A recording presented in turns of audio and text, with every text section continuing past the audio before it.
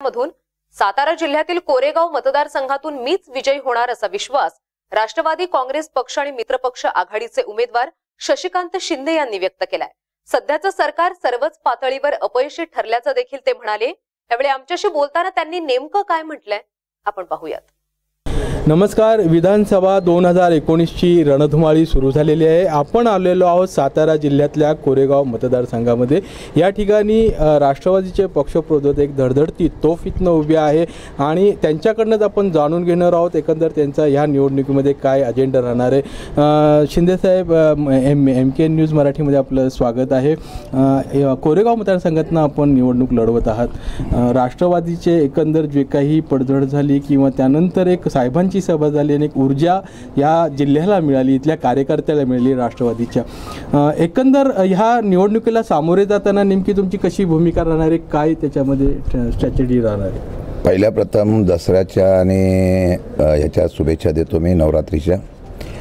विशेषतः आपण जो प्रश्न विचारला जे गेले त्यांचं मनापासून मी त्या ठिकाणी आभारसुद्धा व्यक्त करतो. कारण ते गेल्यामुळे आदरणीय पवारसाहेबांच्याबद्दल आणि एक राष्ट्रवादीबद्दल एक वेगळ्या प्रकारची लाट या महाराष्ट्रामध्ये उभी राहिली. आणि एक स्वाभिमान महाराष्ट्राचा कसा असतो हे देखील दाखवण्याचा प्रयत्न गेल्या काही दिवसापासून दिसायला लागला.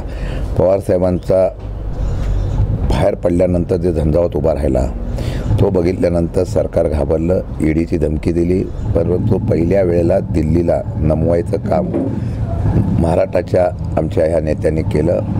आणि म्हणून हा वातावरणाचा बदल बघितल्यानंतर आज निवडणुका ह्या जनतेने आणि सामान्य जनतेने ताब्यात घेतलेलं आहे. हे चित्र मी सगळीकडे पाहतोय.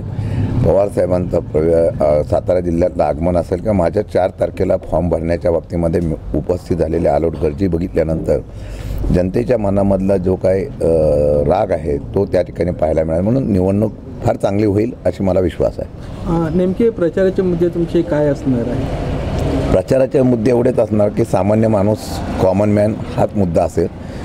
सहा वर्षामध्ये सामान्य जनतेला काय मिळालं शेतकऱ्यांना काय मिळालं तरुणांना मग काय मिळालं आणि नोटाबंदीपासून या देशामध्ये आणि राज्यामध्ये ज्या पद्धतीने सरकारने भूमिका मांडले फक्त ठराविक उद्योगपतींच्यासाठी सरकार चालवलं जातं हे चित्र आम्ही सांगण्याचा प्रयत्न करणार आहे. आज शेतकऱ्यांना दोन पैसे मिळतात म्हटल्या लगेच निर्यात बंदीपासून अनेक निर्णय घेऊन या ठिकाणी सरकारनं शेतकऱ्यांना दाबण्याचा प्रयत्न केलेला आहे.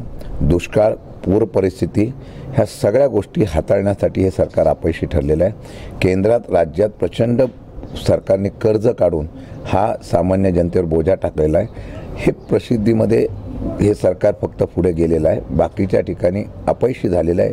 हेच आम्ही दाखवण्याचा प्रयत्न करणं स- सत्तेमध्ये नसताना सुद्धा स्थानिक असलेल्या प्रश्नाला प्राधान्याने नेतृत्वाच्या असलेल्या गुणामुळे किंवा माझ्या असलेल्या कार्यकौशल्यामुळे मी प्रचंड प्रमाणात काम करू शकलो. भविष्यकाळामध्ये सुद्धा लोकांच्या प्रेमातून आम्ही हे काम करू अशा प्रकारचा निर्णय आम्ही या ठिकाणी प्रचारात असणार आहे. साहेब बेरोजगारीचा एक प्रश्न आहे तरुण आहे आपल्या ग्रामीण भागातला तरुण आहे जो शेतीही करतो आणि उद्योगधंद्यासाठीही ज- तडफडत असतो मात्र ते उपलब्ध होत नाही. ह्या दृष्टीने आपण काय नाही आमचा मुद्दा तोच आहे असा आहे की देश फार प्रगतीपथावर गेला हे जे चित्र रंगवलं जातं आहे प्रत्येक गोष्टीवर लगेच पंतप्रधान नरेंद्रजी मोदी आणि राज्याचे मुख्यमंत्री आणि ह्या भारतीय जनता पक्ष आणि मित्र पक्षाच्या असलेल्या लोकांच्या स्टेटमेंट येत आहेत. बेरोजगारीबद्दल गेल्या काही महिन्यापासून एकही उत्तर किंवा एकही स्टेटमेंट येत नाही. एकच अर्थमंत्र्याचं स्टेटमेंट आलं. ते पण असं हास्यापद होतं की मोटर उद्योगाला घरघर का लागली? तर लोक ओला आणि उबेरची वापर करतायत.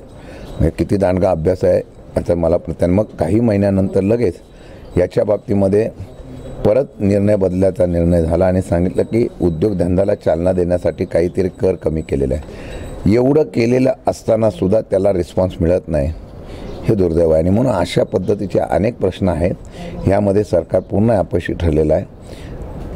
उद्योगधंद्याच्या संदर्भामधली जी पॉलिसी डिसिजन करायला पाहिजे होते उद्योगधंदा वाढण्यासाठी आणि बेरोजगारी दूर साधं लांब नाही. मी राज्य सरकारचं बोलतो. पंच्याहत्तर हजार मेगा भरती करण्याचं आश्वासन लोकसभेच्या निवडणुकीच्या अगोदर दिलं विधानसभेच्या निवडणुकीच्या अगोदर दिलं. पोलीस भरतीपासून ग्रामसेवक तलाठी शासकीय कार्यालयामध्ये एकही भरती झाली नाही ही सत्य आपण नाकारू शकत नाही. मुलं पास झाली बी एड झाली बी एड झाली शासकीय कार्यालयामध्ये यशस्वी झाली पण त्यांना आजही त्या ठिकाणी नोकऱ्या उपलब्ध झालत नाही ही शासनाचा अपयश आहे.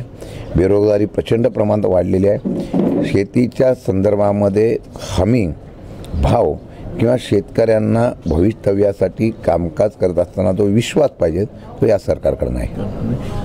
या निवडणुकीमध्ये साहेबांचा सरकारवरच्या अपयशाच्या याच्यावरती जास्त जोर असणार आहे. त्यांनी जी कामं केली ती फोल कशी ठरली हे दाखवण्याचा प्रयत्न या निवडणुकीतनं केला जाणार आहे. साहेब तुम्हाला या निवडणुकीच्या एम के एन मराठीकडनं खूप खूप शुभेच्छा. आपण खूप वेळ दिला.